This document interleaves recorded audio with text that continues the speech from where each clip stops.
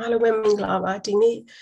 ပြောပေးမယ် topic လေးကတော့ initial management of band and score ပဲဖြစ်ပါတယ်ဒီနေ့ပြောမယ့် topic တွေမှာဆိုလို့ရှိရင်ဒီ topics လေးတွေခေါင်းစဉ်လေးတွေခွဲပြီးတော့မှပြောပေးမယ်เนาะအဲဒီခါကျရင် definition band ရဲ့ mechanism လေးရယ်နောက်ပြီးတော့ဘယ်လိုမျိုး classify လုပ်ထားလဲဆိုတာ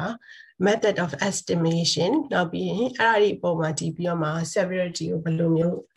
determine လုပ်မလဲဆိုတာရယ်ဘယ်လို manage လုပ်မလဲနောက်ပြီးတော့သူ့ရဲ့ complication လေးတွေနဲ့ take home message လေးကိုပြောပြပါမယ်အဲ့တော့ ပထမဆုံး definition အနေနဲ့ဆိုလို့ရှိရင် ban ဆိုတာဘာလဲအဲ့ဒါ ban ဆိုတာ traumatic injury to the skin အဲ့ဒါမှမဟုတ်လို့ရှိရင် other organic tissue တွေကိုဒါမှမဟုတ်လည်းဖြစ်နိုင်တယ် primarily caused by the heat ဒါမှမဟုတ်ရင် exposure to electrical discharge ကြောင့်ဖြစ်နိုင်တယ် friction ကြောင့်ဖြစ်နိုင်တယ် chemicals and radiation တွေကြောင့်မလို့ဖြစ်နိုင်တယ် skull ဆိုတာ တော့ type of band ပဲဒါပေမဲ့ဘာကြောင့်ဖြစ်တာလဲဆိုတော့ hot liquids and steam ကြောင့်မလို့ဖြစ်တာကို scald လို့ခေါ်တယ်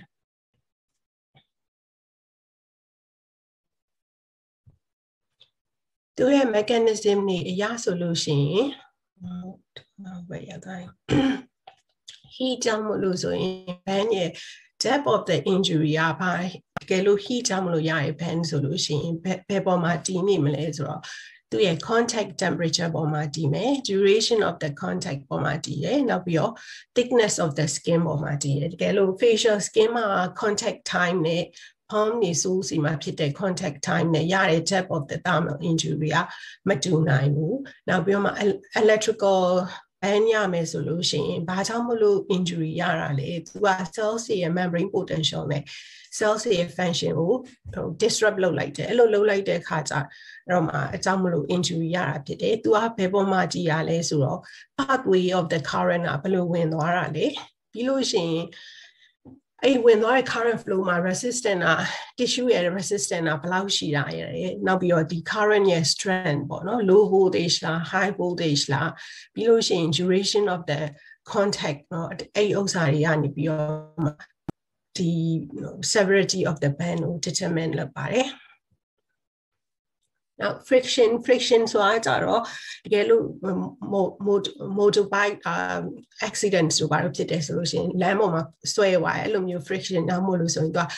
both no combination of heat, I'm going to mechanical disruption, I'm going to Now, B. now type of the mechanism, a chemical ban, or chemical ban, I don't do it causative agent I don't အဲ့လိုမျိုး causative တခုခု chemical ဘန်းရပြီဆိုလို့ရှိရင် cells တွေနဲ့ tissue တွေမှာရှိရဲ့ pH ကပြောင်းသွားတယ်အဲ့လိုမျိုးပြောင်းသွားတဲ့ကြောင့်မလို့ cell membrane တွေပျက်စီးသွားတယ်တခါလေကြောင့်စားတော့အဲ့ chemical ရဲ့ toxic effect ကြောင့်မို့လို့လေခန္ဓာကိုယ်မှာရှိရဲ့ metabolic process ကပြောင်းသွားတဲ့အတွက်ကြောင့်မို့လို့ injury ရတာဖြစ်တယ်အဲ့တော့ တခြား mechanism of bending နဲ့တူတူပဲသူကလေ duration of exposure ပုံမှာတည်တယ်သူရဲ့နောက်ပြီးတော့ nature of the agent ကလည်းဘယ်လောက် you know injury ဘယ်လောက် severe ဖြစ်မလဲဆိုတဲ့ပုံမှာသူကပြောဟိုဟာ determine လုပ်ပြရပါတော့အဲ့တော့မှတကယ်လို့ acid ကြောင့်မလို့ဖြစ်လို့ရှိရင် cell စီမှာဘာဖြစ်သွားမလဲ tissue တွေမှာ coagulative necrosis ဖြစ်တယ် alkaline ကြောင့်ဖြစ်မယ်ဆိုလို့ရှိရင်ဒါတော့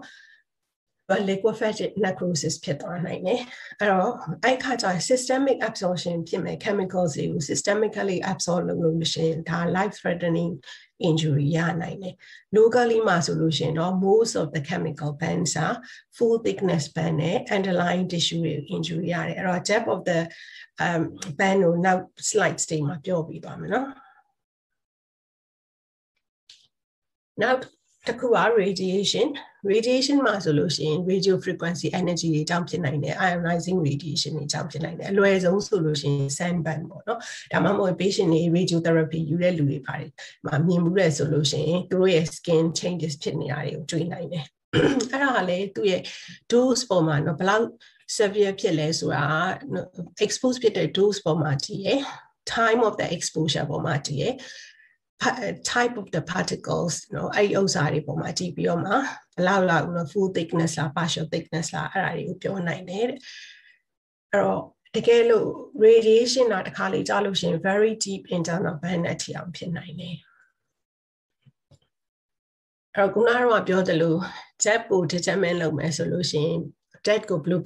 classify လုပ်ထားလဲအဲ့ဒါကိုအရင်ဆုံးသိဖို့လိုတယ်အဲ့တော့ဒီဘက်ကပုံကလေးရဆိုလို့ရှိရင် ဒီဘက်ကပုံလေးက normal skin ကို anatomy ကိုပြပေးထားတာအဲ့မှာဆိုလို့ရှိရင်ဘာရှိမလဲ epidermis layer ရှိရယ် dermis layer ရှိရယ်ပြီး subcutaneous fat နဲ့ muscle เนาะအဲ့မှာဆိုလို့ရှိရင် traditionally တော့ကကြတော့အရင်တော့ဟိုရှိတော့ကကြတော့ first second degree third degree fourth degree band လို့ပဲခွဲခြားပြီးတော့ပြောတယ်ဒါပေမဲ့အခုနောက်ပိုင်းမှာဆိုလို့ရှိရင်တော့သူရဲ့ surgical intervention ကိုလိုက်ပြီးတော့မှသူ superficial band လား superficial partial thickness band လား full thickness band လားဆိုပြီးပြန်ခွဲထားတယ် superficial thickness superficial band ဆိုတာကြတော့ဒီ epidermis နော်ဒီ orange layer အဲ့ epidermis လေးတခုပဲ injury ဖြစ်တာတကယ်လို့ partial thickness ဆိုလို့ရှိရင်ကြတော့ဒီ dermis ကပါသွားပြီအဲ့မှာမှနှစ်ခုပြန်ခွဲထားတယ် superficial partial deep partial ဆိုပြီးပြန်ခွဲထားတယ် superficial partial ကကြတော့ dermis ကိုရောက်တယ်ဒါပေမဲ့သူ့ရဲ့ hair follicles တွေဒီ sweat gland တွေကိုဘာမှ effective မဖြစ်ဘူးတကယ်လို့ deep partial ကြလို့ရှိရင်တော့အဲ့ဒါဒီ gland တွေ hair follicles တွေက effective ဖြစ်သွားပြီ subcutaneous no tissue ရောက်သွားပြီဆိုလို့ရှိရင်တော့ full thickness band လို့ခေါ်မယ်တဲ့။ဒါမှမဟုတ်လို့ရှိရင်ဟိုမှာ sorry အထိအောင် injury ဖြစ်သွားပြီဆိုလို့ရှိရင်တော့အဲ့ဒါကို deep band လို့ခေါ်တယ်။အဲ့တော့ဒီဥစ္စာ superficial band ကိုပြထားတာဒါ daily normally ဆိုလို့ရှိရင်ဟိုရေနွေးပူလောင်တာတို့ဒါမှမဟုတ်လို့ရှိရင်မိဖို့မှာ အိုးအပူမှာခဏလေးကတ်မိသွားတာတော့အဲ့လိုမျိုးတွေမှာတွေ့ရမယ်အဲ့ခါကြလို့ရှိရင်သူက very painful ပြီးလို့ရှိရင်ဒီမှာအနီးနေရာကိုတွေ့ရမယ်ပြီးရင် dry မြဲမယ် dry ဖြစ်တယ်သူ့ပေါ်မှာ pressure လေးပေးလိုက်တယ်ဆိုလို့ရှိရင် blanch ဖြစ်သွားတာကိုတွေ့ရမယ်ဒီ superficial band တွေက healing within a week အတွင်းမှာ healing ဖြစ်သွားမယ်ဒါပေမဲ့ scar လည်းမကြံခဲ့ဘူးလေအဲ့တော့ဒါဆိုတော့ partial thickness span เนาะသူကဆိုလို့ရှိရင် part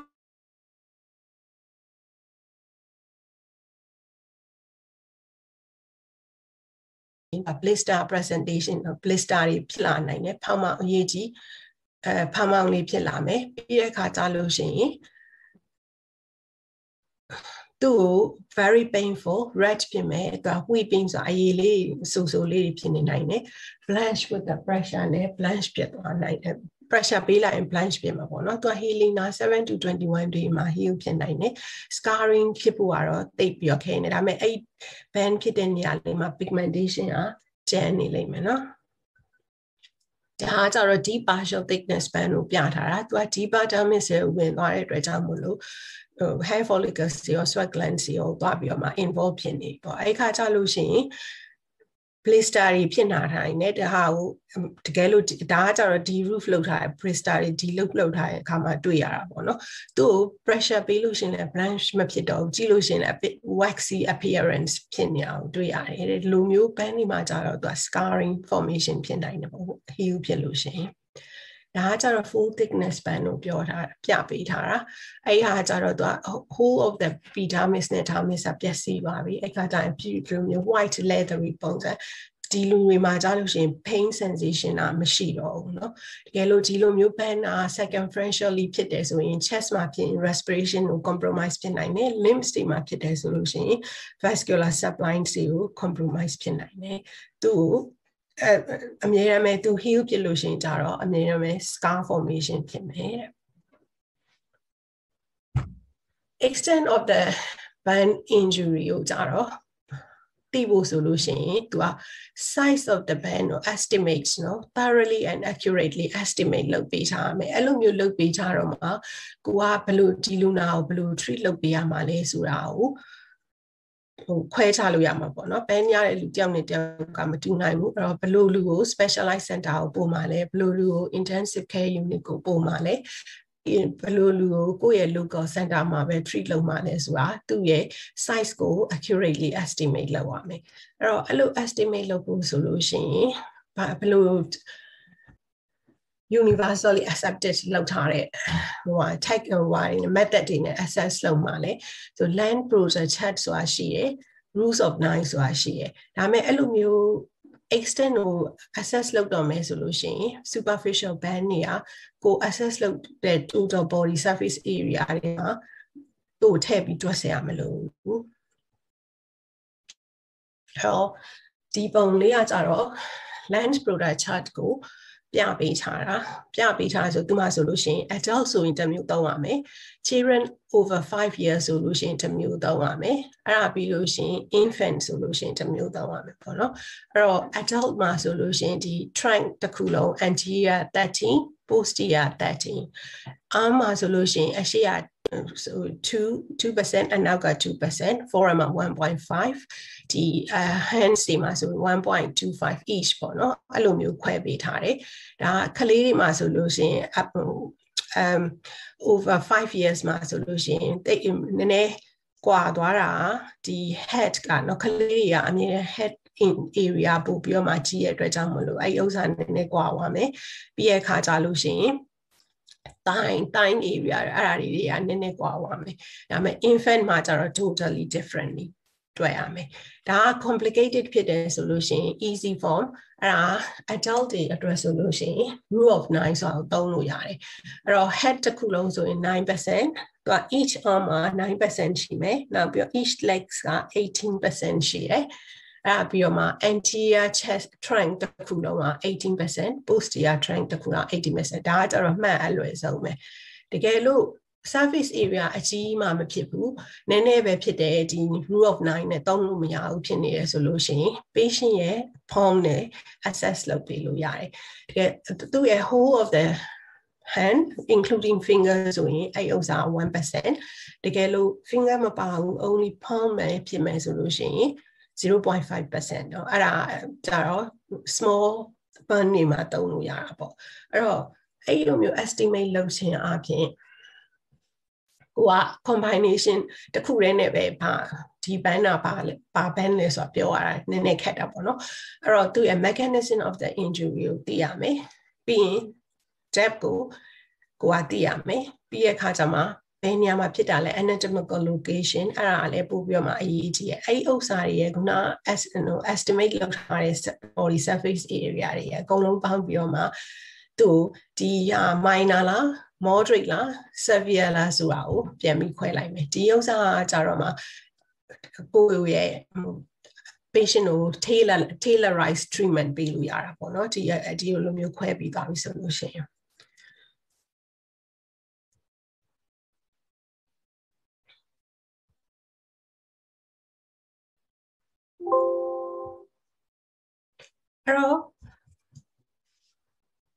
minor band minor band ဆိုတာဘယ်လိုလူတွေကိုပြောတာလဲ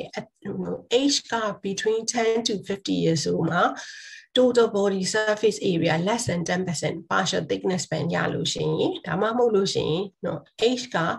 a little bit of extreme ပေါ့နော် under 10 over 50ဆိုလို့ရှိရင် less than 5%ဆိုလို့ရှိရင် minor band လို့ပြောမယ်ဒါပေမဲ့ full thickness band ဖြစ်သွားပြီဆိုလို့ရှိရင်เนาะ 2% of the total body surface area ဆိုလို့ရှိရင်သူအဲ less than 2%ဆိုမှပြောမယ် more than 2%ဆိုရင်ဒါ minor band လို့ပြောလို့မရတော့ဘူးတဲ့အဲ့တော့အဲ့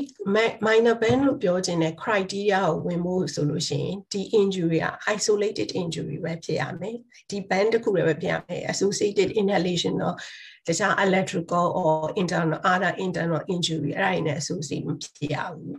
ပြီးရခါကျရင်ဒီ band က face တွေ hand တွေ premium တွေ feet တွေမပါရဘူးပြီး major joint တွေကို cross လုပ်တဲ့ band မဖြစ်ရဘူး second fracture မဖြစ်ရဘူးဒီဥစ္စာတွေ ਨੇ fulfill ဖြစ်တော့မှသူ့ minor band လို့ပြောမယ်တဲ့အဲ့တော့ဘလူးလူတွေကို band center ကိုပို့ပြီးမှလဲဆိုတော့ခုနကတော့ minor မဟုတ်တဲ့ဟာတွေပေါ့နော်အဲ့ခါကြလို့ရှိရင် total body surface area က more than 2% 10%ပေါ့နော် involve ဖြစ်သွားပြီဆိုလို့ရှိရင်ခုနကတော့ပြောတယ်လို့ပဲ face တွေ hand တွေ feet genitalia premium တွေ major joint တွေ involve ဖြစ်သွားပြီဆိုလို့ရှိရင်နောက်3 degree band ဆိုတာ full thickness band ပေါ့နော်အဲ့လိုမျိုးဖြစ်တဲ့ at any age မှာဆိုလို့ရှိရင်သူရဲ့ specialized center မှာကူတာအကောင်းဆုံးပဲတဲ့နောက် electrical band စီနော် အဲ့ဒါကြီးမှာဆိုရင်များသောအားဖြင့် electrical band ရတဲ့လူတွေမှာ cardiac arrhythmia တွေပါရနိုင်တယ်ပြီးရင်အများစုကလည်း full full thickness band တွေဖြစ်နိုင်တဲ့ drug ကြောင့်မလို့သူတို့လိုလူမျိုးတွေမှာဆိုလို့ရှိရင်လည်း specialized center မှာကူတာကောင်းတယ် chemical bands နောက် inhalation နဲ့ injury ရတဲ့လူတွေမှာဆိုလို့ရှိရင် intubation တွေလုပ်ဖို့လိုရင်လိုမယ် intensive care unit တွေမှာအဲ နော် treat လုပ်ဖို့လိုရင်လိုမယ်ဒီလိုလူတွေကိုဆိုရင် specialized center မှာပဲကူတာအကောင်းဆုံးပဲတဲ့နောက်တစ်ခါကြလို့ရှိရင် injury ရတဲ့ pay ban ရတဲ့လူတယောက်သူ့မှာ pre existing medical disorder တွေရှိနေတယ်ဆိုလို့ရှိရင်ဒီဥစ္စာတွေကနေပြီးတော့ပို့ကြောင့်မလို့ပို့ပြီးတော့ complication နော် systemic complication တွေဝင်လာနိုင်တဲ့အတွက်ကြောင့်မလို့တဲ့နောက်ပြီးတော့မှ another concomitant trauma ရတယ်အဲ့တော့အဲ့ trauma တွေကိုလည်းကုပေးဖို့လိုတယ်အဲ့တော့အမြဲတမ်း trauma patient เนาะမှာဆိုလို့ရှိရင် life threatening injury ကိုအရင်ဆုံးကူရမယ်ပြီးတော့ follow ပါရင်เนาะအဲ ban treatment ဆိုပါတော့နောက်မှလိုက်လို့ရတယ်တဲ့နောက်ကလေးတွေဆိုလို့ရှိရင်သူ့ကို train person ရှိတဲ့နေရာမှာပဲကုသင်တယ်ပြီးတော့မှတခြား no rehabilitation လို့တဲ့လိုမဲ့လူတွေ longer time လိုမဲ့လူတွေဆိုလို့ရှိရင် band center မှာကုတာအကောင်းဆုံးပဲတဲ့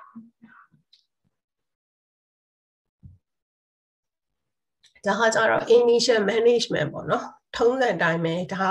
ဟို generally ပြထားတယ်နောက်မှအသေးစိတ်ပြန်ပြောပြပေးမယ်။အဲ့ခါကျတော့အမြဲတမ်းပဲ trauma patient ဆိုလို့ရှိရင်ထုံးစံတိုင်းပဲအရှိမရှိရဲ့တခြားအရင်အဲ lecture တွေတော့လည်းပြောသွားပြီးသားရှိမှာပေါ့နော်အမြဲတမ်း ABCDE အဲ primary survey လုပ်မယ်ပြီးရင် secondary survey လုပ်မယ်ပြီးတော့မှ surface area estimate လုပ် depth ကို estimate လုပ်မယ်ပြီးလို့ရှိရင် resuscitation စမှာပေါ့နော်ပြီးတော့မှသူ့ရဲ့ associated injury ရှိလားမရှိလားပေါ့မှာဒီကြည့်ပြ inhalation injury ရှိရဆိုလို့ရှိရင် inhalation injury ကိုဦးစားပေးပြီးတော့မှ intubation လိုတာလားအဲ့ဒါတွေကိုအရင်ဆုံး ventilation တွေလိုပြီလားအဲ့ဒါတွေကိုအရင်ဆုံး treat လုပ်ပေးရမယ် differential band ဖြစ်တဲ့လူတွေမှာဆိုလို့ရှိရင်လေသူ့ဘယ်နာမှာဖြစ်တာလဲသူအဲ့ဟာအတွက်ကို action လုပ်ဖို့လိုပြီလားမလိုဘူးလားအဲ့ဒါကြီးကြည့်ရမယ်ဘယ်နာ site anatomical area တွေပေါ်မှာတည်ပြီးတော့မှအဲ့ treatment ကိုလိုတဲ့ treatment တွေကိုပေးရမှာပေါ့နော်အဲ့လိုပေးပေးပြီးရခါကြတော့မှအပြင်အဲ့လိုပေးခြင်းအပြင်သူကဘာဖြစ်လာမလဲဆိုလို့ရှိရင်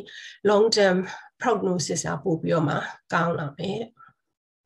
အဲ့တော့ဘယ်လိုမျိုး manage လုပ်ပြီးမှလဲဆို in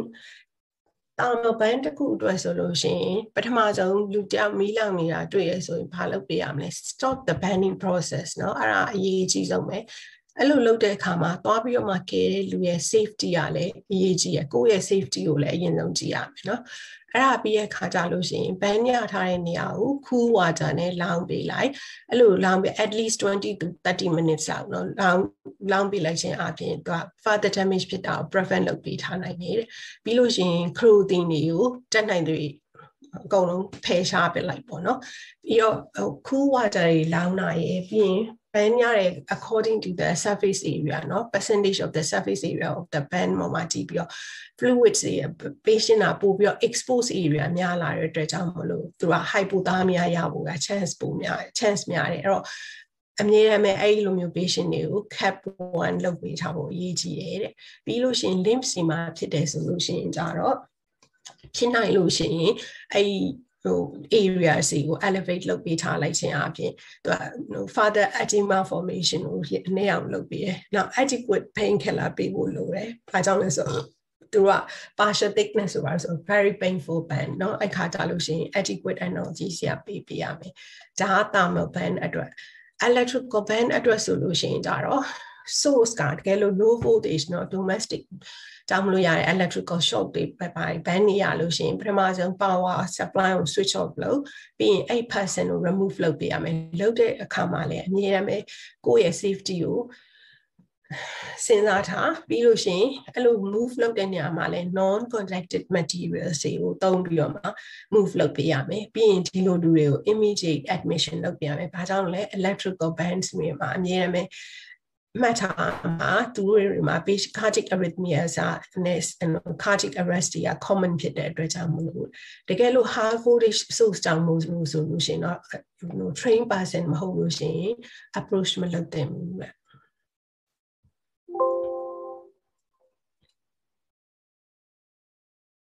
အဲ့တော့ chemical ဆိုလို့ရှိရင်ကြတော့ဘာ chemical ban ရတာလဲဆိုသိလို့ရှိရင်တော့အကောင်းဆုံးပဲအဲ့လိုပြီးလို့ရှိရင် အဲ့ဒီ ban ရ chemical နဲ့ထိတွေ့ထားတဲ့အဝတ်တွေအဝတ်တွေကိုဖယ်ပြဖယ်ဖယ်ပလိုက်ဖယ်ပလိုက်ပြီးတော့တကယ်လို့ dry form ကြောင့်မလို့ဖြစ်တယ်ဆိုလို့ရှိရင် brush off မြန်မြန်လေးလုပ်ပြီးလိုက် dry form မဟုတ်ဘဲနဲ့ liquid form ကြောင့်ဖြစ်တယ်ဆိုလို့ရှိရင်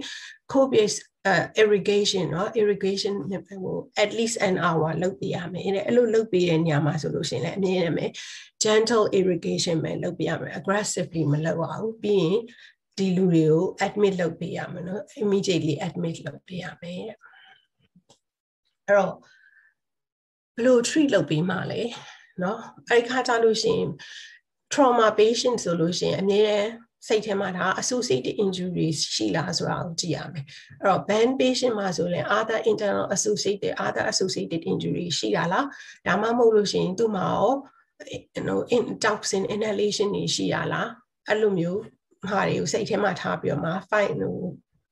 assess လုပ်ပေးရမှာပေါ့နော်လုပ်ပေးပြီးလို့ရှိရင် cooling process ဆိုခုနလိုပဲဟောရှိနေလောင်းပေးရမယ်ပြီးလို့ရှိရင် pain management ပေးရမယ်ပြီးအဲ့ဒီ wound ကို clean လုပ်ပေးရမယ်ဆိုလို့ရှိရင်ဘာရင်းနဲ့လုပ်လို့ရဘာမှမရှိဘူးဆိုလို့ရှိရင် mouth soap နဲ့ tap water နဲ့ပဲသုံးလို့ရတယ်ဒါမှမဟုတ်လို့ရှိရင် chlorhexidine wash တွေသုံးလို့ရတယ်ဒါပေမဲ့ alcohol မပါစေရဘူးဒါ sterile ဖြစ်တာကိုသုံးခြင်းနဲ့ဆိုလို့ရှိရင်เนาะ0.9%စေးလိုက်နဲ့သုံးပေးလို့ရတယ်အဲ့တော့အဲ့ cleaning လုပ်ထားတဲ့ fluid တွေကအကောင်းဆုံးဆိုလို့ရှိရင် body temperature မှာရှိတဲ့ fluid နဲ့လုပ်ပြီးအကောင်းဆုံးပဲဒီမှာဆိုလို့ရှိရင်တော့တို့ရအဲ no wash out လုပ်တယ်လို့ဘာလို့ဆိုလို့ရှိရင်အမြဲတမ်း fluid က warm လုပ်ထားတဲ့ fluid နဲ့ပဲသုံးတယ်အဲ့လိုမျိုးလုပ်ဖို့ no facility မရှိဘူးဆိုလို့ရှိရင်เนาะဒီ room temperature မှာရှိတဲ့ fluid နဲ့လည်းလုပ်လို့ရတယ်အမြဲတမ်း irrigate လုပ်ပြီးဆိုလို့ရှိရင်ငါပြောသလိုပဲ gently ပဲ irrigate လုပ်ရမယ် aggressively လုပ်စရာမလိုဘူးနောက်ဒီ wound လာဒီ bright လုပ်ဖို့လိုပြီဆိုလို့ရှိရင်ဘယ်အခါမှလုပ်မှာလဲ slough တွေဖြစ်လာတယ်เนาะ skin က necrosis necrotic tissue တွေဖြစ်လာမယ်နောက် tissue တွေပြီး infected ဖြစ်လာမယ်ဆိုရင်တော့ bright လုပ်ဖို့လိုတယ်အဲ့မှာ natural method ဆိုလို့ရှိရင် hydrogel လို့ dressing လေးတွေနဲ့တုပ်ပြီးထားပြီးတော့အဲ့ဒါ naturally debride လုပ်လို့ရတယ် surgical debridement လုပ်ရဲဆိုလို့ရှိရင်เนาะသူဟို surgical team ဒါမှမဟုတ်လို့ရှိရင် train လုပ်ထားတဲ့ team မှနေပြီးတော့မှ debride လုပ်ပြီးတာအကောင်းဆုံးပဲတဲ့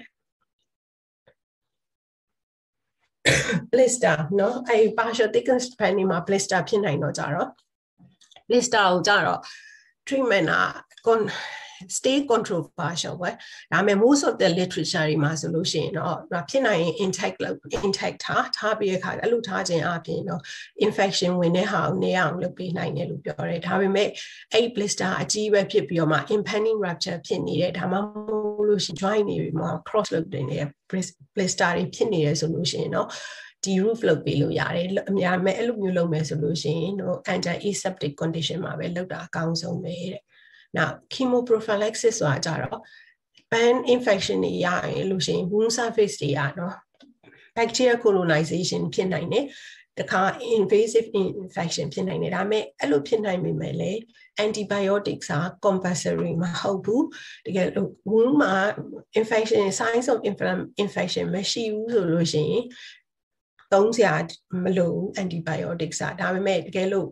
partial or full thickness span တွေမှာ signs of the infection ရှိရဆို topical antibiotics တွေ dressing ထဲမှာထည့်ပြီးသုံးပေးလို့ရတယ်ဒါပေမဲ့ systemic prophylactic antibiotics ကတော့သုံးစရာ indicated မဖြစ်ဘူးပေါ့နော်အဲမဲ့ဒီ wound တွေကအမြဲတမ်းပဲ other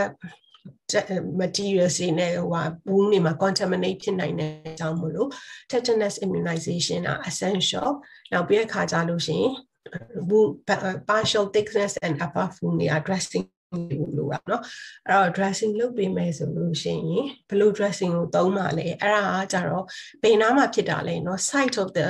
wound ပေါ်မှာကြည့်ရယ်နောက်ပြီး size เนาะဘယ်လောက်လောက်ကြီးတာလဲ depth ပေါ်မှာကြည့်ရယ်နောက် level of exudation ပေါ်မှာကြည့်ရယ်ပြီးရင် infection risk ကဘယ်လောက်များလဲပြီးတော့ကိုယ့်ရဲ့ locally မှာဘလောက် ဘာတွေ available ဖြစ်လဲဆိုတဲ့ပုံမှာကြည့်ပြီးတော့မှဘယ် dressing ကိုသုံးမလဲဆိုတာကို determine လုပ်ရမယ်တဲ့ အဲ့တော့ dressing dressing ဒီမှာဆိုလို့ရှိရင် basic dressing ဒါဘယ်နာမှမဆိုရနိုင်တာပေါ့နော်ပထမဆုံးလေးကအနေနဲ့ကကြတော့3 layer သူက3 layer dressing လုပ်မယ်အဲ့တော့ first layer မှာဆိုလို့ရှိရင်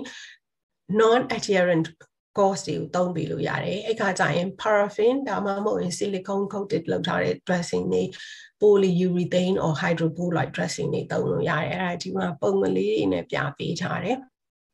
တော့ဒီအပေါ်အသုံးခုဒါက paraffin dressing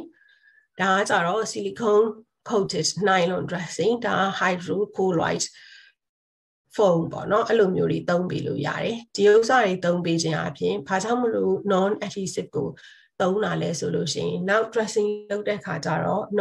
adhesive ဖြစ်တဲ့အတွက်ကြောင့်မလို့ tissue trauma ကိုနေတယ်ပြီးရင် less pain ပေါ့နော်အဲ့ဒါကြောင့်မလို့သုံးတယ် အဲ့တော့ non adherent dressing ဟိုသုံးသုံးပြီးရင်အဲ့ second layer အနေနဲ့ကကြတော့ fluffy drying gauze တွေနဲ့ပတ်တာပေါ့နော်တကယ်လို့ POP လုပ်တယ်ဆိုလို့ရှိရင်သုံးတဲ့ gauze rule တွေရှိရဲအဲ့လိုမျိုးတွေနဲ့ပတ်ပြီးလို့ရတယ်ပြီးတော့မှအပြင်ကနေအဲ့ဥစ္စာတွေကို stable ဖြစ်အောင်လို့ elastic gauze rule နဲ့ထပ်ပြီးတော့ပတ်ပြီးလိုက်တဲ့ဒါက basic dressing အဲ့ဒါဘယ်နေရာမှာမဆိုလို့ရှိရင်လွယ်လွယ်ကူကူရှာလို့တွေးနိုင်လို့ပေါ့နော် နောက်တစ်ခုနည်းနည်း advanced ဆိုလို့ရှိရင်တော့ biological နဲ့ synthetic dressing တွေကိုသုံးလို့ရတယ်အဲ့တော့ဒါတွေကလည်း partial thickness and above မှာပဲသုံးတာပေါ့အဲ့လိုသုံးနေဆိုဘာကြသူ့ရဲ့ advantages တွေကဘာတွေလဲဆိုတော့အခါကျရင် reduce the frequency of dressing change ကိုနည်းစေရနောက်ပြီးရင်အဲ့ခါကျရင် pain ကလည်း နည်းသွားမှာပေါ့ပြီးရင် it ဒီ dressing itself မှာကိုက antibacterial action ရှိရပြီးရင် physical trauma ကနေ protect လုပ်ပေးထားနိုင်တယ်ဒီ dressing တွေကနေပြီးတော့ heat နဲ့ moisture ကို retain လုပ်ပေးနိုင်တဲ့အတွက် wound healing ကို improve ဖြစ်စေရပါတော့အဲ့လိုမျိုး advantages တွေရှိရပေါ့အဲ့တော့ဘာတွေသုံးလို့ရလဲဆို autograph ဆိုတာအဲ autograph allograph xenograph ဆိုပြီးအဲ့လိုမျိုးရှိရ autograph ဆိုတာ band surface area တိတ်ပြီးတော့မများဘူးထားပါတော့လက်မှာပဲဖြစ်တဲ့တိုင်းစီဘာတွေက spare ဖြစ်နေသေးရဲဆိုလို့ရှိရင်ကိုယ့်ရဲ့ skin ကိုပဲကိုပြန်ယူပြီးတော့မှ graph လုပ်ပေးရเนาะအဲ့ဒါ autograph allograph ဆိုတာကြတော့ဟို same species ကနေပြီးတော့မှ skin ကိုယူပြီးတော့မှ graph လုပ်ပေးရအဲ့ဒါဆိုလို့ရှိရင် for example ဆိုရင် cadaverous skin ပေါ့နော်အဲ့လိုမျိုးယူပြီးတော့မှ graph လုပ်ပေးရ allograph လို့ခေါ်တယ်တဲ့ xenograph ဆိုတာကြတော့ other species ကနေပြီးတော့မှယူပြီးတော့မှ prepare လုပ်ပေးထားတာပေါ့နော်သူတို့ပြန်ပြီးတော့ prepare လုပ်ပေးထားတဲ့ graph တွေလာထားပါတော့ porcine skin ဆိုတာ pig ရဲ့ skin ကိုပြန်ပြီးတော့မှ prepare လုပ်ပေးထားပါအဲ့လိုမျိုးသုံးလို့ရတယ်ဒါမှမဟုတ်ရင် human amni ကိုသုံးလို့ရတယ်အဲ့တော့ဒီပုံလေးအဆိုလို့ရှိရင်ဒါက pig skin ပေါ့နော် porcine skin ဆိုပြန်ပြီးတော့မှဟို dressing graph အနေနဲ့ပြန်ပြီးတော့ create လုပ်ပေးထားတာဒီဥစ္စာကကြတော့ cadaverous skin ကိုပြန်သုံးလို့ allograph ပေါ့နော်အဲ့ခါကြလို့ရှိရင်အမြဲတမ်းပဲ mesh လေးလုပ်ပေးထားတယ်ဒါမှ secretion တွေ exudates တွေနော်ထွက်သွားလို့ရအောင်လို့တဲ့ အဲ့တော့အဲ့လို dressing လုပ်ပေးထားပြီးလို့ရှိရင်ဘယ်ခါကြလို့ရှိရင် dressing change လုပ်မှာလဲပထမဆုံးမှာဆိုလို့ရှိရင်ပထမအစပိုင်းမှာတော့သူက exudate စီနဲ့နော် dressing က soak ဖြစ်ဖြစ်သွားတာတဲ့အတွက်ကြောင့်မလို့ dry party လောက် change လုပ်ပေးလို့ရတယ်တဲ့အဲ့ရနေမှာတဖြည်းဖြည်း the wound ရဲ့ improvement မှာတည်ပြီးတော့မှ weekly ပေါ့နော်တဖြည်းဖြည်းနဲ့ခြားခြားခြားခြားသွားမယ်ဒါပေမဲ့ epithelialization ပေါ်လာပြီဆိုလို့ရှိရင်တော့ dressing လုပ်ရမလို့တော့ဘူးအိမ်မှာ moisturizing cream လေး apply လုပ်ပြီးထားရုံနဲ့တဲ့အဲ့တော့ဒီလူတယောက်ကို admit မလုပ်ထားဘူးဆိုတော့ဖြစ်ဖြစ် admit လုပ်ထားဖြစ်ဖြစ် review follow up review လုပ်တဲ့အခါကြလို့ရှိရင် ဘာတွေကိုကြည့်မှလဲကိုလုပ်ပေးထားတဲ့ dressing လုပ်ထားတဲ့နေရာတွေမှာ signs of infection တွေရှိပြီလားအဲ according to ဟိုအဲ့လိုမျိုး signs of infection ရှိရမရှိဘူးပေါ်မှာကြည့်ပြီးတော့ choice of the dressing ဒါမှမဟုတ်ရင် antibiotics သုံးဖို့လုပ်ပြီလားအဲ့ဒါတွေကိုဆုံးဖြတ်ပေးရမယ်ပြီးတော့မှတစ်ခါလေကြားလို့ရှိရင် ban ညာပထမတော့ကကို assess လုပ်ထားတော့က superficial partial ဒါမှမဟုတ်အဲ့ဒီကနေမှ deep partial ဖြစ်သွားတာလား full thickness ဖြစ်သွားတာလားအဲ့ ban ရဲ့ check ကပြောင်းသွားနိုင်တယ်ဘာကြောင့်ပြောင်းသွားနိုင်လဲဆိုတာနောက်ကြလို့ရှိရင် pathophysiology လေးမှာပြန်ပြောပြပေးမယ်နော်အဲ့ဒါပြီးရင် contracture တွေဖြစ်လာပြီလားလို့ဘယ်လို rehabilitation တွေလုပ်ပေးရမှာလဲ corrective surgery တွေလုပ်ဖို့လိုပြီလားအဒါတွေက follow up care မှာပြန်ကြည့်ပေးရမယ်ပြီးရင်ကိုပေးထားတဲ့ analgesic ရာเนาะ pain pain management อ่ะ patient အတွက် adequate ဖြစ်ရလားဆိုတာကိုပြန်ပြီး assess လုပ်ပေးရမယ်ဒါက follow up care တွေမှာလုပ်ဖို့အရေးကြီးတာပေါ့ဒါပြောပေးပြီးသွားပြီ အဲ severe band ဆိုလို့ရှိရင်ကြတော့သူကဘယ်လိုခါကြလို့ရှိရင်ဖြစ်မှာလဲဆိုလို့ရှိရင် more than 20% total body surface area involve ဖြစ်သွားတဲ့လူတွေဒါမှမဟုတ်လို့ရှိရင် major trauma တွေနဲ့ associate ဖြစ်နေတဲ့ inhalation နဲ့ injury တွေ chemical ဘန်းနေနဲ့ဖြစ်တဲ့လူတွေမှာဆိုလို့ရှိရင်ဒါကို severe burn လို့ခေါ်နိုင်တယ်တဲ့။သူကကြလို့ရှိရင်နော် other associated injury နဲ့ common ဖြစ်နိုင်တဲ့အတွက်ကြောင့်နော် most common က fracture ဒါမှမဟုတ်ရင် soft tissue injury နဲ့လည်း association ဖြစ်နိုင်တယ်။တခါလေကြလို့ရှိရင် traumatic brain injury နဲ့ associate ဖြစ်မယ်။တခါ other နော် thoracic or abdominal injury နဲ့လည်း associate ဖြစ်နိုင်တယ်တဲ့။ အဲ့တော့အဲ့လူတွေကိုဘယ်လိုမျိုး treat လုပ်ပေးမှလဲပထမဆုံးဆိုရင်တော့ triage and လုပ်ပေးရမယ်ပြီးရင် transfer လုပ်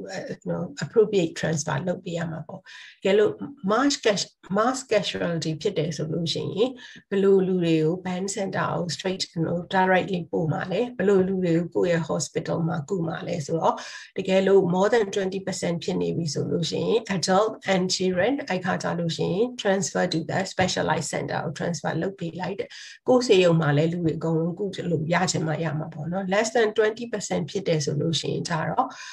တကယ်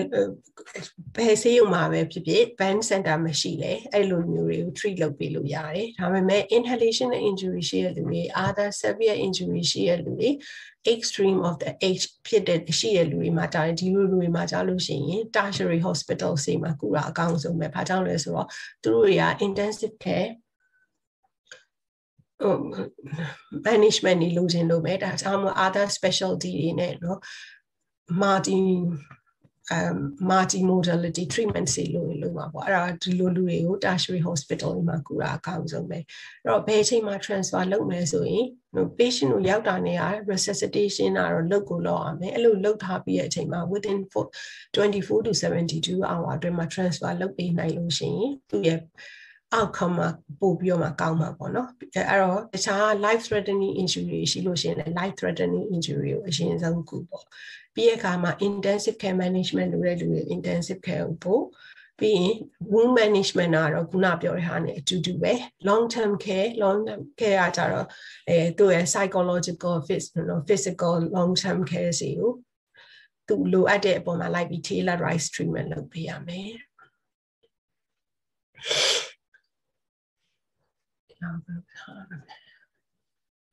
အဲ့တော့ severe band မှာရတဲ့လူတွေကြားလို့ရှိရင်ဘာတွေကိုအဓိကထားပြီး assess လုပ်ရမှာလဲ airway မှာဆိုရင်တကယ်လို့အဲ့လူလူတယောက်က face and neck band ဘန်ရတယ်ရယ် pharyngeal ဒါမှမဟုတ် air hanger ဖြစ်နေ strider တွေရနေတယ် carbonaceous sputum တွေထွက်နေတယ်သူရဲ့အတန်နာ hostness ဖြစ်နေပြီဆိုလို့ရှိရင်တော့ဒီလိုလူတွေမှာဒါ inhalation နဲ့ injury ရဖို့ chance များတာပေါ့နော်အဲ့တော့အဲ့လိုလူမျိုးတွေမှာဆိုလို့ရှိရင်ဘယ်လိုလုပ်ပြရမလဲ intubation က as soon as possible လုပ်ပေးထားခြင်းအပြင် no respiratory failure စီပိုင်းနောက်ပိုင်းမှာရလာမယ့် complication တွေကို prevent လုပ်ပေးထားနိုင်တယ်တဲ့အဲ့တော့ဒါတွေမလို့ intubation မလို့တဲ့လူတွေမှာဆိုလို့ရှိရင်လေ high flow oxygen ကို for at least 24 hour ပေးထားရင်အကောင်းဆုံးပဲတဲ့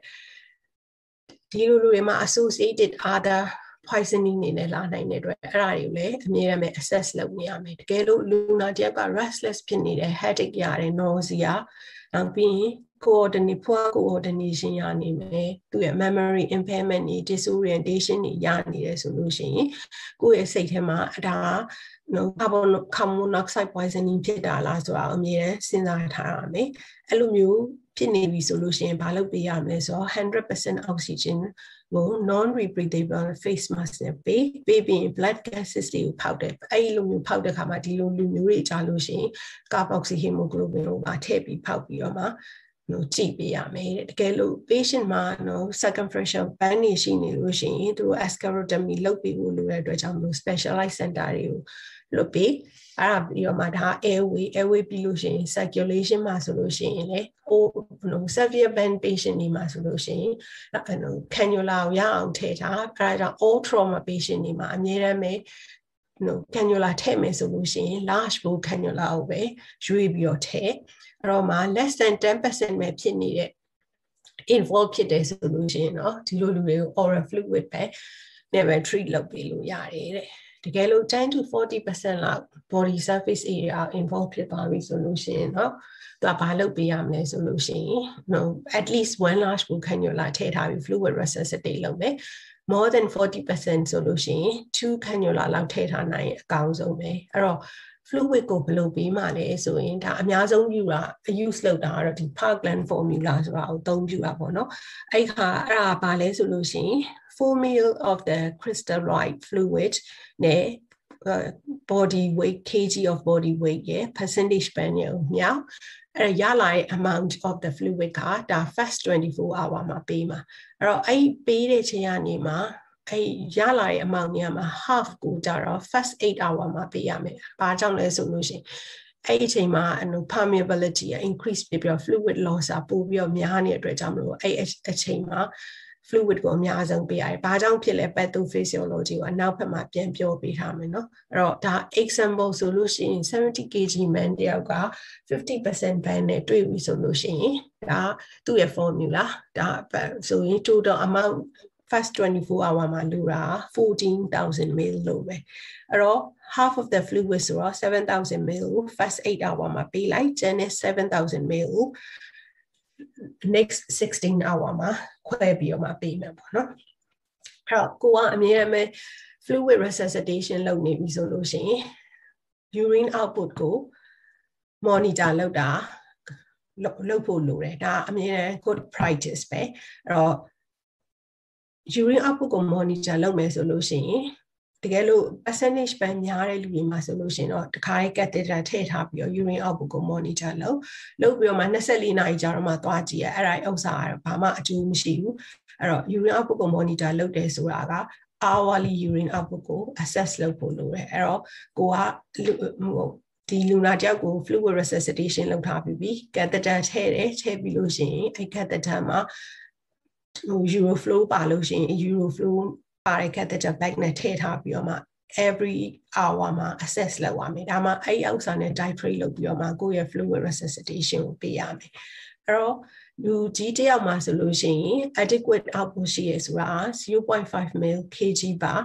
hour အဲ့ဒါဆိုလို့ရှိရင် adequate ဖြစ်ကိုယ့်ရဲ့ resuscitate လုပ်နေတာ adequate ဖြစ်တယ်လို့ပြောရမယ်ကလေးမှာဆိုရင်1.5 ml per kg per hour ပြီးလို့ရှိရင်ဒီလိုလူတွေကြလို့ရှိရင်ဒါ circulation ပြီးတော့နောက်ပြီးရမှာဒီလိုလူတွေမှာဆိုလို့ရှိရင်နောက် catabolic phase လာတော့မယ်အဲ့ဒါကြောင့်မလို့သူတို့အတွက်ကို nutrition ကိုစပေးထားမှာပေါ့နော် more than 30% ban ဒါမှမဟုတ် patient က unresponsive ဖြစ်နေရဆိုလို့ရှိရင် nasogastric feeding ကိုစထားလိုက်တော့တယ်အဲ့တော့ ပြီးရခါကျတော့မှ wound management ကတော့ခုနပြောထားတဲ့ wound management တူတူပဲအဲ့လိုပဲလုပ်ပေးရမယ် pain management လုပ်ပေးရမယ်ဒီ chat ကလေးကကြတော့ဒါ roughly ပြောထားပါတော့တကယ်လို့ဆေးရုံမှာ severe injury ရတဲ့လူတွေမှာဆိုလို့ရှိရင်ဘယ်လိုမျိုး pain management လုပ်ပေးနိုင်ရင်ကောင်းလဲဆိုတာကိုပြပေးထားတာပြီးတော့မှအဲ့လိုလူတွေမှာဆိုလို့ရှိရင်သူက post traumatic you know stress disorders ရနိုင်တယ်ပြီးတော့ကိုယ့်ရဲ့ you know limitation of the uh, movement နေကြောင်းမလို့အာ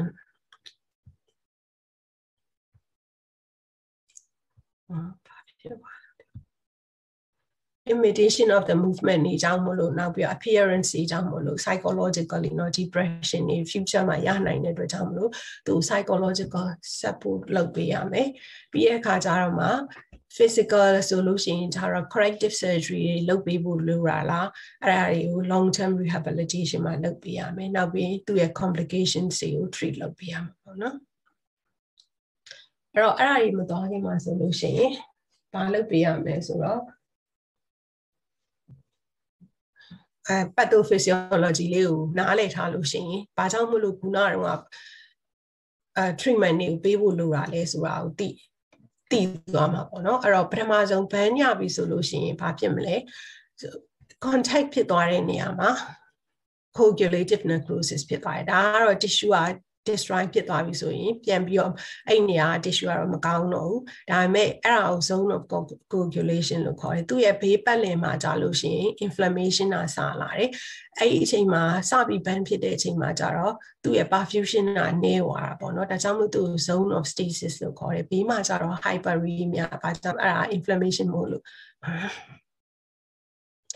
ဖြစ်တာအဲ့မှာဆိုလို့ရှိရင်ဘာကြောင့်မလို့ခုနကတော့ပြောရင် follow up မှာ depth ကို assess ပြန်လုပ်ရမလဲဆိုတာပြောတာဆိုလို့ရှိရင်တခါတလေကြာရင်ဒီ zone of the stasis ကနေပြီးတော့မှ zone of coagulation ကိုပြောင်းသွားနိုင်တယ်ဒါကြောင့်မလို့သူ့ရဲ့ band ရဲ့ depth ကိုပြန်ပြီးတော့ assess follow up မှာ assess လုပ်ရတာ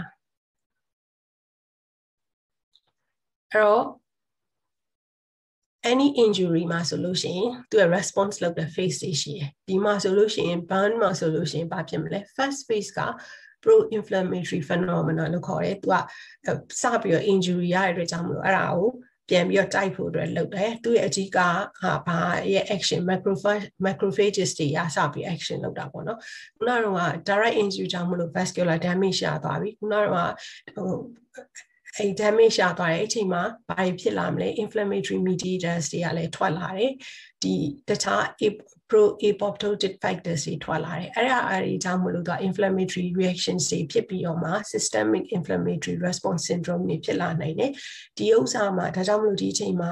resuscitation or adequate resuscitation အရေးကြီးတယ်အဲ့ဒါကိုမလုပ်နိုင်ဘူးဆိုလို့ရှိရင်ဒီလူတွေမှာ multi organ dysfunction ကို progress ဖြစ်သွားမှာပေါ့အဲ့တော့ second phase ကကြတော့ anti inflammatory phase ဆိုပြန်ပြီး repair လုပ်ဖို့လာတဲ့ phase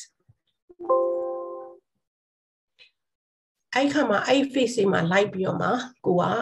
resuscitation ကို accordingly လုပ်ပေးမှာပေါ့ လုပ်ပေးတဲ့အခါကျတော့ first phase เนาะ into any injury any major trauma မှာဆိုလို့ရှိရင် first phase က up phase up phase လို့ခေါ်တယ်အဲ့ဒီအချိန်မှာ body ကအကုန်လုံး slow down လုပ်သွားတာပေါ့เนาะ24 to 72 hour လောက်ဆောက်ကြမယ်တဲ့သူမှာ vascular permeability တွေက increase ဖြစ်နေတဲ့အခါကျတော့ fluid တွေက blood vessels ထဲမှာမနေတော့အပြင်ကိုထွက်တယ် fluid shift လို့ခေါ်တယ်เนาะအဲ့ခါကျတော့ vessels တွေမှာ fluid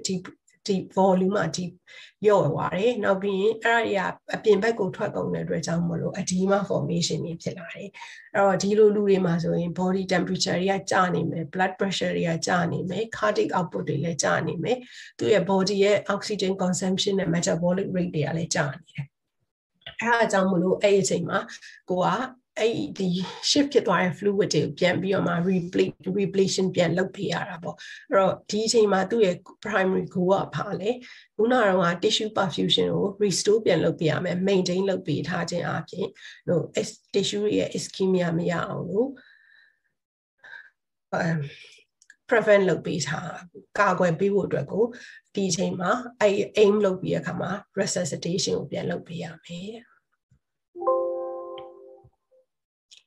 အဲ့တော့ဒါကဘယ်လိုလို့ဘာကြောင့်မလို့ဒီ fluid and electrolyte တွေပြောင်းကုန်တာလဲဆိုတာခုနပြောတဲ့ဟာမှာပြန်ပြပြန်ပြောပြပေး summarize လုပ်ပေးထားတာအဲ့တော့ injury တစ်ခုရပြီဆိုလို့ရှိရင်ခုန vasoactive substance တွေထွက်လာတယ်ထွက်လာတော့ vascular permeability increase ဖြစ်လာတယ်ဖြစ်လာတဲ့အတွက်ကြောင့်မလို့ edema formation တွေရလာမယ် edema formation တွေရလာလို့ရှိရင်သူကဘာတွေဖြစ်သွားမလဲ intravascular volume တွေကျသွားမယ် တော့ electrolyte တွေ pH တွေ imbalance ဖြစ်လာတယ်အဲ့လိုဖြစ်လာတဲ့အတွက်ကြောင့်မလို့ blood သူက blood flow က essential နေရာတွေပဲသွားတဲ့အတွက်ကြောင့်မလို့တခြားနေရာတချို့နေရာတွေမှာ blood flow တွေကျသွားမှာပေါ့နော်အဲ့တော့ skin တွေ kidney တွေ GI tract တွေမှာ blood flow တွေကျသွားမယ်ဒါကအကြောင်းမလို့ရဲ့နောက်မှသူ့ရဲ့ complication တွေကဖြစ်လာတာပြီးရခါကြလို့ရှိရင်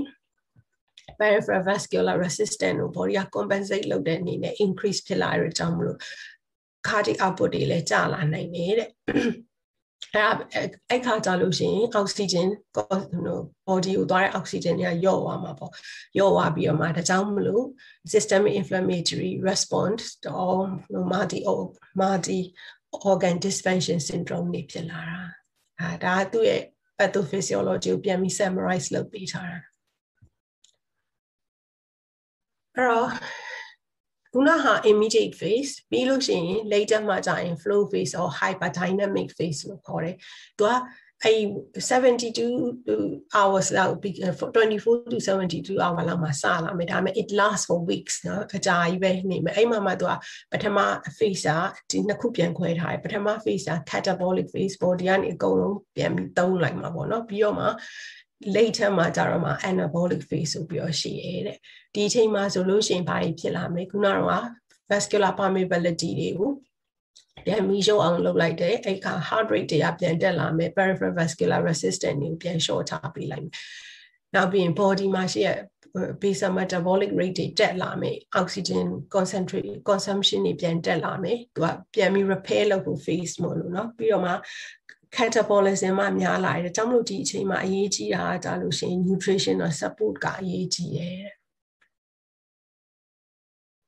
တော့ဒါကကြတော့ခုနက flow phase ဆိုပြန်ပြီးတော့မှเนาะဘယ် system by system သူက injury ဘာတွေဖြစ်နိုင်လဲဆိုတာကို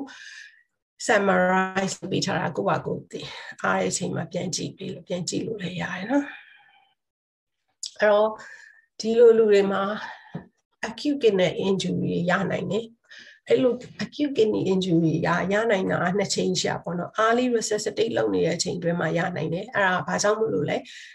depend upon the severity of injury ပေါ်မှာလည်းကြည့်ရ depend upon know how adequate you resuscitate the patient ပေါ်မှာလည်းကြည့်ရဲတဲ့အဲ့လိုလူတွေမှာဒါ acute kidney injury ရတယ်ဆိုလို့ရှိရင် resuscitation လုပ်နေ early phase မှာရတဲ့လူတွေမှာကြာလို့ရှိရင်ခုနကလို့အဲ့ဒီမှာဒီ organ dysfunction စီဟိုရောက်သွားနိုင်ပြီးတော့ mortality rate က high ဖြစ်နိုင်တယ်တဲ့အဲ့တော့ later phase မှာရှားလို့ရှိရင်လည်း acute kidney injury ရနိုင်သေးရပဲဒါပေမဲ့အဲ့ဒါဘာကြောင့်ရတာလဲ sepsis ကြောင့်မလို့ရတာတဲ့အဲ့လိုမျိုးရလာပြီဆိုလို့ရှိရ င် renal replacement therapy တို့เนาะ dialysis တို့ပါလို့လိုတာတွေကိုထပ်ပြီးတော့မှ treat လုပ်ပေးထားမယ်နောက်မှနောက်ပြီးရင် patient တွေမှာ inhalational injury ရတဲ့လူတွေပေါ့နော်အဲဘလို့လူတွေဘာတွေကြောင့်မလို့ရနိုင်လဲဆို upper respiratory tract မှာရတယ်ဒီမှာဒီပုံလေးမှာပြတာ upper respiratory tract မှာရလို့ရှိရင်ဘာကြောင့်မလို့လဲ hot air ကြောင့်မလို့ရတာ ဖြစ်နိုင်တယ်နောက် steam ကြောင့်မလို့ရတာဖြစ်နိုင်တယ်တဲ့သူကအဲ့ခါကြလို့ရှိရင် laryngeal obstruction တွေရမယ် bronchospasm တွေရမယ်ဒါကြောင့်မလို့ inhalational injury ရတဲ့လူတွေမှာဖြစ်နိုင်လို့ရှိရင် early incubation အရေးကြီးအောင်ရတယ်နောက်ပြီးတော့မှဒီ middle မှာဆိုလို့ရှိရင်ဒါဘာကြောင့်ဖြစ်နိုင်လဲ smoke particles တွေ aspiration တွေကြောင့်မလို့ရနိုင်တာပေါ့နော်အဲ့ခါကျရင် mucosa တွေမှာ injury ရသွားတယ် ischemia ကြောင့်မလို့လည်းဖြစ်နိုင်တယ်အဲ့ဒါတွေကဟို healthy မဖြစ်တော့ဘူးအဲ့ဒီဥစ္စာတွေကနေပြီးအကြောင်းမို့လို့လေအဒီမားတွေရပြီးတော့ obstruction ရတာဖြစ်နိုင်တယ်အဲ obstruction တွေရနိုင်တယ်ပြီးရင် infection prone ဖြစ်သွားနိုင်တယ်ပြီးရင်ဟို F ဟိုအဲ aculitis ဆိုတာအလိုင်းလေးတွေက collapse ဖြစ်သွားမှာပေါ့နော် bronchospasm ရနိုင်တယ်တကယ်လို့ lower respiratory tract မှာကြာလို့ရှိရင်ရတဲ့ဟာဘာကြောင့် mostly ရ irritant gas တွေကြောင့်မလို့ရတာတဲ့အဲအကြောင်းလို့ဘာဖြစ်နိုင်လဲဆိုတော့သူက ဟို alveoli လေးတွေနဲ့ lungs ရဲ့ blood vessels စီထားထဲမှာတော့ oxygen carbon dioxide တွေ exchange လုပ်နေတာအဲ့အဲ့ process တွေကသွားပြီးတော့မှ affect ဖြစ်တဲ့အတွက်ကြောင့်မလို့ respiratory failure တွေနောက်ပိုင်းမှာကြာရင်ရလာနိုင်တာပေါ့နော်အဲ့ဒါပြီးလို့ရှိရင်နောက် neurologically ဆိုလို့ရှိရင်ဘာတွေ affect ဖြစ်နိုင်လဲ အဲ့တော့ cell cellular hypoxia ရပါတယ်။ဘာကြောင့် blood supply ရောလို့ဖြစ်နိုင်တယ်။အဲ့ခါကြလို့ရှိရင်ဘာတွေဖြစ်လာမလဲဆိုတော့ intracranial pressure တွေတက်လာမယ် cell edema တွေရလာပြီးတော့ patient က agitated ဖြစ်လာတယ် confused ဖြစ်လာတယ်เนาะနောက်ပြီး ectasia abnormal posturings တခါလေကြားလို့ရှိရင် TIA เนาะ transient ischemic attack တွေရနိုင်တယ်နောက် neurologic shock တွေရနိုင်တယ် fix တွေရနိုင်တယ် locally ဆိုလို့ရှိရင်ကြတော့ locally မှာ cutaneous nerve တွေ injury ရသွားတဲ့ခါကြလို့ရှိရင်သူကပြန်ပြီး grow ဖြစ်တဲ့ခါကြတော့ abnormal sensation တွေရလာနိုင်တယ်တဲ့ဒါကြောင့်မလို့အချို့လူတွေမှာကြာရင် chronic pain တွေရလာတာတဲ့ gastrointestinal system မှာကြာရင်ဘာတွေကိုသွားပြီး affect ဖြစ်မှာလဲ blood supply ကတော့အရေးကြီးတဲ့ organ တွေကိုပြောင်းရတဲ့အတွက်ကြောင့်မလို့เนาะသူဟိုမှာ blood supply ဆို အဲလျော့သွားမှာပေါ့နော် blood supply လျော့သွားတဲ့အတွက်ကြောင့်မို့လို့ mucosa တွေမှာ ischemia ရပြီးတဲ့အခါကြလို့ရှိရင်ဟို stress ulcer တွေဖြစ်သွားနိုင်တယ်ပြီးရဲ့အခါကျအဲ့လိုမျိုးဖြစ်တယ်ဆိုလို့ရှိရင်သူကဘာကြောင့်မလို့ ischemia ရတဲ့အခါကျတော့ acidness တွေကို barrier mucosa barrier တွေပျက်စီးသွားတဲ့အတွက်ကြောင့်မလို့ stress ulcer တွေရနိုင်တယ်အဲ့ဒီကနေမှ bleeding တွေ perforation တွေရနိုင်တယ်တကယ်လို့ you know very severe ban more than 60% of the total body surface area ban ဖြစ်တဲ့လူတွေမှာကြာရင်တော့ idiopathic intra-abdominal hypertension တို့ abdominal compartment syndrome တို့ဖြစ်နိုင်တယ်တဲ့။ Now liver damage ဖြစ်နိုင်တယ်ဘာကြောင့်လဲ။ hepatic edema formation တွေကြောင့်မို့လို့တဲ့ ဒီဥစ္စာကကြတော့သူရဲ့ complication တွေကိုပြန်ပြီးတော့မှခုနပြောတဲ့ complication တွေကိုပြန်ပြီးတော့မှ summarize လုပ်ပေးထားတာအဲ့တော့အများရမ်းပဲ topics မှာပဲဖြစ်ဖြစ် complication တွေကိုကြည့်မယ်ဆိုလို့ရှိရင်အများရမ်းပဲ အဲမှတ်လွယ်အောင်လို့ early complication ကဘာတွေဖြစ်နိုင်လဲ late complication ကဘာတွေဖြစ်နိုင်လဲဆိုတာကိုကြည့်ရမယ်ဒါခုနကတော့ပြောတဲ့ early complication တွေ late complication တွေရကြတော့ disfigurement တွေဖြစ်နိုင်တယ်အဲ့ဒါဘာကြောင့်ဖြစ်တာလဲသူရဲ့နော် scar formation တွေကြောင့်ဖြစ်နိုင်တယ် keloid တွေကြောင့်ဖြစ်နိုင်တယ်ခုနကတော့လို့ no excessive scarring ကြောင့်မို့လို့ဒါမှမဟုတ် joint တွေ cross လုပ်တဲ့ band တွေမှာဆိုလို့ရှိရင် contracture တွေရလာနိုင်တာပေါ့နော်ဒါတချို့လူတွေမှာကြတော့အဲ့နေရာတွေမှာ chronic ulcer တွေဖြစ်ပြီးကြာလို့ရှိရင် possible malignancy change ဖြစ်နိုင်တယ်အဲ့ဒါကို marginal ulcer လို့ခေါ်တယ်တဲ့အဲ့တော့အဲ့ဥစ္စာတွေဖြစ်လို့ရှိရင်ဘာလုပ်ပြရမလဲဆို keloid တို့ဘာလို့ဖြစ်လို့ရှိရင် keloid treatment ပေါ့နော်အဲ့မှာじゃ treatment တွေက different uh, type of the treatment ရှိရယ် steroid injection ရှိရရှိရယ် pressure dressing တွေလုပ်တာရှိရယ်တချို့လူတွေကကြတော့ပြန်ပြီးတော့ surgically ပြန်ပြီး exercise လုပ်ပြီးတော့မှပို့ surgical radiotherapy အဲ့အမျိုးတွေနဲ့ correct လုပ်ပေးရရှိရယ်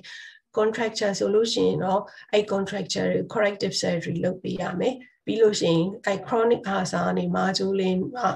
ulcer or malignancy ဒါအဲ့ဒါ squamous cell carcinoma ဖြစ်နိုင်တာအဲ့ဒါဖြစ်လို့ရှိရင်တော့ white local excision ဖြစ်တဲ့ညမှာလုပ်ပေးပြီးလို့ရှိရင် lymph node involve ဖြစ်လို့ရှိရင်တော့မဖြစ်လို့ရှိရင်တော့ lymph node sample လုပ်ပြီးတော့လုပ်နိုင်တယ်တကယ်လို့ဖြစ်တယ်ဆိုလို့ရှိရင်တော့အဲ့ဒီဥစ္စာပါ treat လုပ်ပေးဖို့လိုတယ်တဲ့ဒီဥစ္စာသူ့ရဲ့ complication တွေအဲ့တော့အ ခု